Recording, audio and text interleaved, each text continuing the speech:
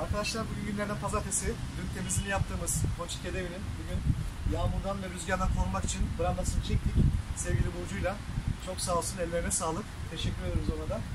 Bu şekilde en son hali. Ee, umarım daha güzel, daha e, sıcak yaşarlar.